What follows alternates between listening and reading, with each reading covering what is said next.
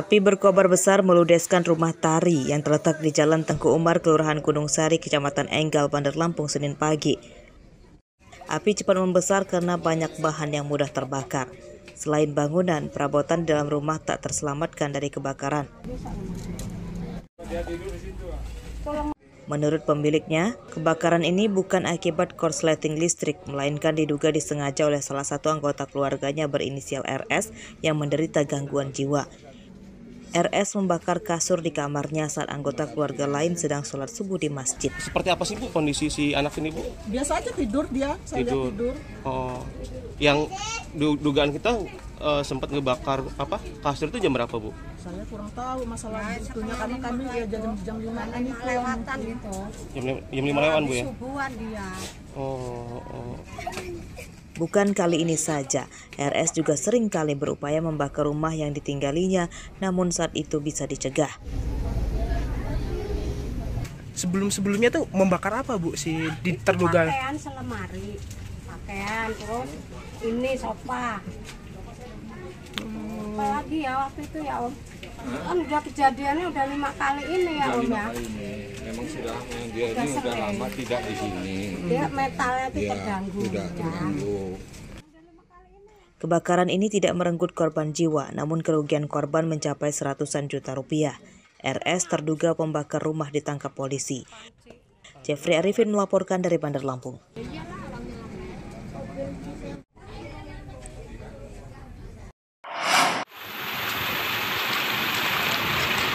Seorang wanita parubaya yang sedang sakit dievakuasi ke lokasi yang lebih aman oleh petugas PPBD Metro dengan perahu karet pada minggu malam. Wanita ini dievakuasi karena rumahnya di Kelurahan Karangrejo Metro terendam banjir. Banjir juga merendam puluhan rumah di kelurahan ini dan disebut sebagai banjir terbesar sepanjang 2022. Ketinggian air di beberapa titik bahkan mencapai hampir satu meter. Aliran-aliran drainase kita, drainase tiga masuk drainase dua masuk ke aliran Waibunut. Itu catatan penting. Sehingga yang memang harus diperbaiki ke depan sistem. Karena kan dia cepat ya, kalau udah berhenti kan. Hingga Senin siang, luapan air masih menutup sejumlah titik jalan poros dan jembatan yang menghubungkan kota Metro dengan Lampung Timur. Warga bergotong royong membantu pengendara yang menerobos banjir. Karena masyarakat tuh yang setiap lewat agak susah gitu loh. Jadi warga berdatangan langsung membantu untuk penyeberangannya. Berarti ini sukarela ya? Iya. Hmm. Dari warga mana aja?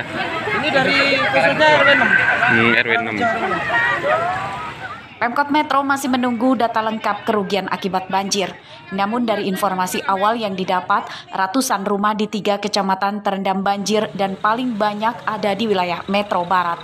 Mustaki melaporkan dari Metro.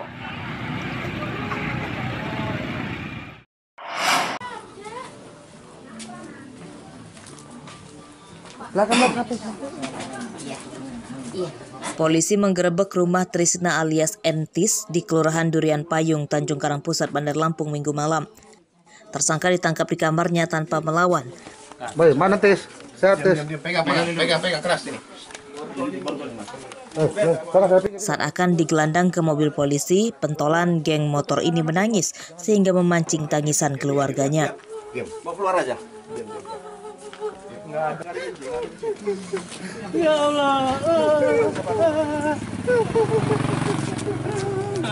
Polisi kemudian menangkap dua temannya di Kemiling, Bandar Lampung. Dua tersangka terakhir yang ditangkap adalah Julian dan Ega Frandika. Menurut polisi, ketiga tersangka sering membuat onar. Selain memimpin geng motor untuk tawuran dengan kelompok lain, para tersangka juga kerap berulah brutal merusak warung-warung di pinggir jalan tanpa sebab. Mereka berulah di jalanan dengan membawa berbagai senjata tajam. dugaan melakukan 170 pengerusakan terhadap salah satu uh, warung milik masyarakat yang menjual uduk. Yang diamankan ini ketua kelompok geng motor Bang. Ya berdasarkan penyidikan uh, dari keterangan yang kita dapat bahwa memang uh, tiga orang ini dari dua orang tersebut merupakan ketua kelompok yang dari, dari kelompok Enjoy Mahkota, yang satunya dari Pramuka Kids. Mau nyerang. Iya. Memang kenal. Kenal om. Pakai apa mereka kamu orang nyerang warung itu? Pakai senjata om. Senjata apa aja? Celurit om. Hah? Celurit om. Celurit sama? Celurit. Celurit doang om.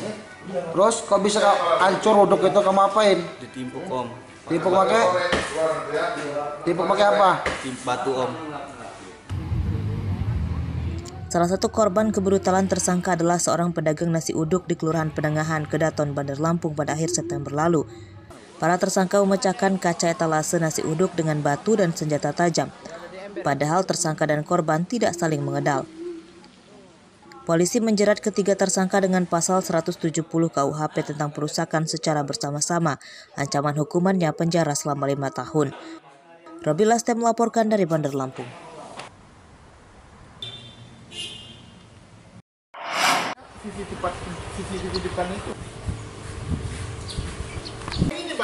Para pencuri motor di Lampung kian merajalela. Para pelaku bahkan naik kelas mengendarai mobil saat menyatroni rumah calon korbannya. Ini diduga untuk mengecoh warga sebab selama ini para pencuri motor selalu mengendarai motor. Pencurian motor oleh para pelaku yang mengendarai mobil di antaranya terjadi di perumahan Bataranila, Natar, Lampung Selatan. Pelaku merusak kunci pintu gerbang dan menggasak motor di teras. Dua kali percobaannya. Turun dua orang turun dari mobil, yang ke sininya cuma dua orang. Yang satu orang lagi nunggu di mobil. Nggak tahu ada berapa orang nggak jelas pasti yang ada di mobil. Tapi yang pastinya yang turun itu ada dua orang di sini. Satunya gendut, satunya kurus. Jadi mereka ini komplotan pakai mobil ya? Pakai mobil. Pencuri motor yang mengendarai mobil juga menyatroni indekos di Kelurahan Durian Payung, Tanjung Karang Pusat, Bandar Lampung. Pelaku mengendarai mobil merah. Dua pelaku di antaranya turun masuk ke komplek indekos. Tak tanggung-tanggung, keduanya mencuri dua motor sekaligus dari tempat ini. Para pelaku mahir mencuri motor. Mereka membutuhkan waktu kurang dari satu menit untuk mencuri motor yang diincarnya. Mata ini tuh. Jadi tuh. berarti berarti Ada dua orang tuh yang ngambil. Pokoknya sekitar jam setengah empatan lah jam tiga dua puluhan. Kalau dari rekaman CCTV ada berapa orang sih mas pelakunya? Ada dua orang bang. Ingat ciri-cirinya gimana mas? Ya, badannya pada gede sih bang. Masuk ke dalam aja tuh mas ya? Masuk aja. Dua orang itu. Langsung dua motor tuh yang langsung dibawa. Iya. Pencurian motor di Natar dan Bandar Lampung ini telah dilaporkan ke polisi. Korban memberikan rekaman CCTV untuk membantu polisi mengenali pelaku. Robi Laste melaporkan dari Bandar Lampung.